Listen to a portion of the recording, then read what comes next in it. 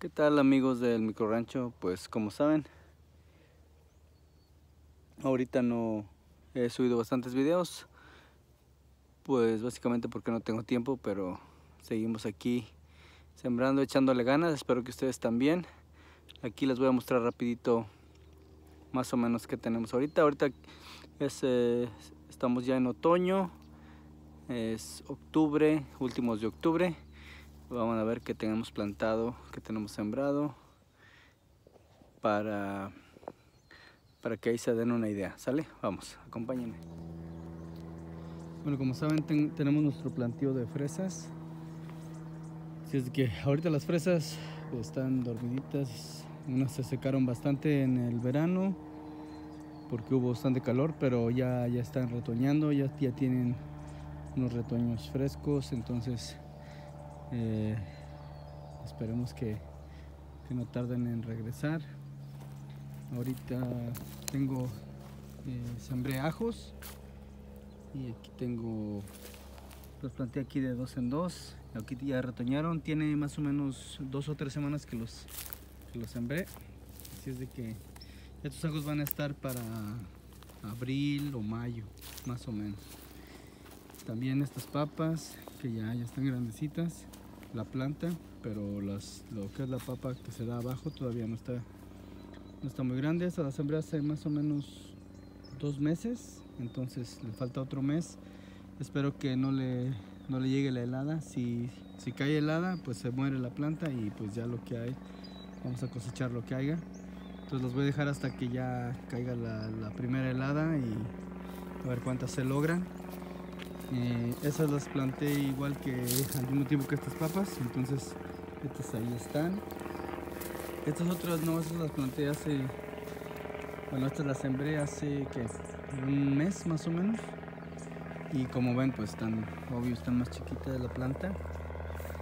Pero pues ahí va, esperemos que se dé aunque sea algo.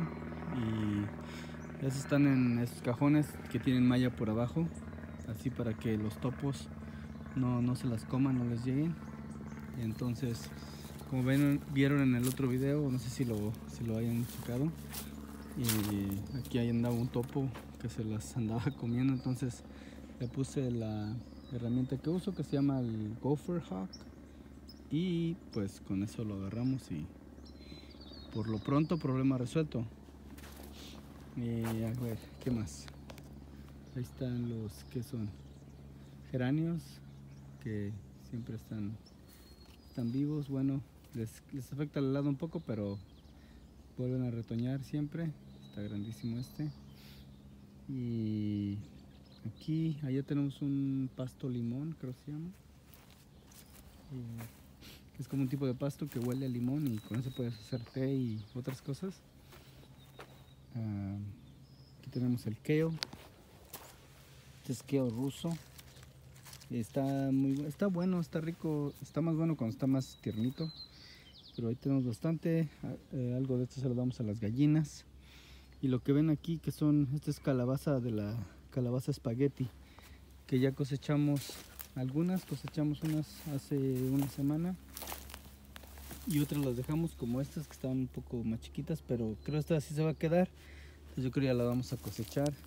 Dejamos algunas por ahí, pero de hecho todavía hay todavía tiene, tiene flor, todavía tiene flor, entonces como les digo, esto aguanta hasta la, la primera helada, pues en la primera helada ya se va a morir. Como ven, o como ya está haciendo un poco de frío, pues ya, ya, se, está, ya se está muriendo también.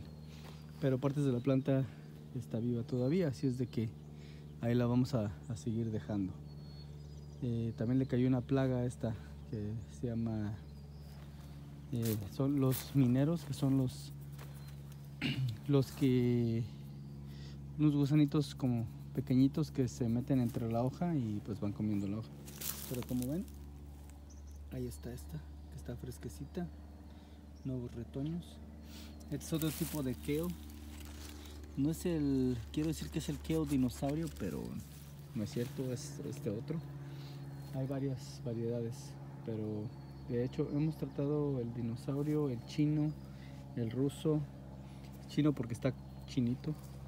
Entonces, los nopales, estos que sembré aquí hace unos tres meses, Esos, esos tres son nuevos retoños, ese también es nuevo retoño. Así es que ya ahí van agarrando. Eh, las flores de cempasúchil que están ahorita a todo lo que dan. Y ya pues vamos a ir cortando. Ya cortamos varias, pero siguen vivas y aquí están. Estas calabazas están vivas todavía, están frescas y todavía están dando, ahí son unas tiernitas. En unos días seguimos revisando para que no se nos pasen, ya que con un día soleado que hay crecen bastante y, y pues digo todavía están buenas, pero tiernitas pues están mejor. La, flor de cempasúchil le da mucho color.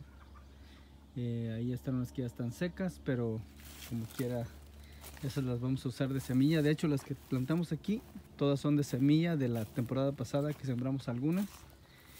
Y esas que sembramos fueron de unas que compramos para hacer un altar. Y ya del altar, cuando se secaron, pues agarramos la semilla y, desde ahí hemos plantado eh, flor de zampasuchi. Ya, ya este, el año que entra, pues vamos a, plantar un poco más.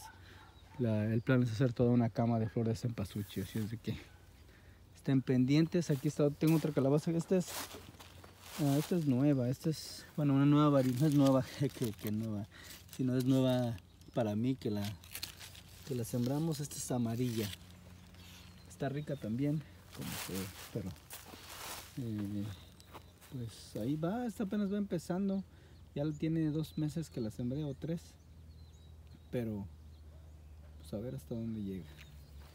Y aquí está un poco más de quebo ruso, como ven este empieza así moradito.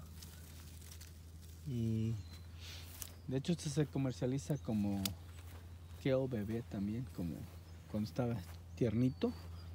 Se vende también en, las tiendas. Para jugos para licuados pero así también. Se vendió me lo como esto, esto no lo comemos en ensaladas eh, con huevo. O sea se lo puedes añadir a lo que tú quieras lo que tú prefieras. Hasta, una hamburguesa en vez de lechuga.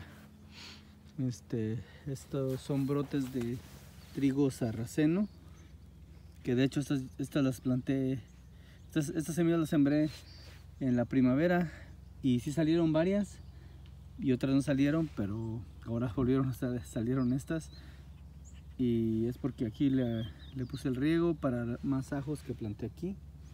Pues aquí van todos los ajos y ese trigo sarraceno se atrae a una avispa que, que pues es, tiene beneficios para el, para el huerto, como, eh, como poner sus huevecillos en, los pulgones y entonces se alimenta del pulgón y ya esa avispa crece, la, la larva de la avispa crece. Entonces, si tienes problemas de pulgones, el trigo sarraceno es muy bueno para eso. Es recomendable. Aquí tengo también, bueno, seguimos con lo que tenemos ya van de salida también estas flores de estos girasoles que como verán todavía traen una, que otra amiguita, una que otra abejita. Eh, ya las semillas ya están listas para cosecharse. Estas las decidimos dejar aquí para darle de comer a los pajaritos. De hecho aquí teníamos todo un surco aquí de, flores de, girasol. Pero bueno, ya pronto también la, si, hay algunas que cosechar, pues las vamos a cosechar. Y los nopales ahí están. Ya se le está quitando la plaga, la, cochinilla. Tienen varias tunas, pero creo que ya están un poco pasadas. Así es de que pues vamos a ver si, si las quitamos, las ponemos en la composta o, o a ver qué le hacemos. Y bueno, aquí tenemos un poco de maíz que todavía está vivo. De hecho, ahorita arranqué uno.